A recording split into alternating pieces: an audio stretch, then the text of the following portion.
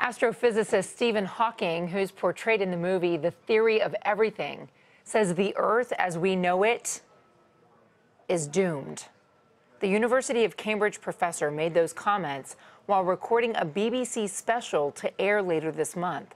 Hawking was asked whether he thinks the world would end naturally or if man would destroy it first. And he said, although the chance of a disaster to planet Earth in a given year may be quite low, it adds up over time and becomes a near certainty in the next thousand or 10,000 years.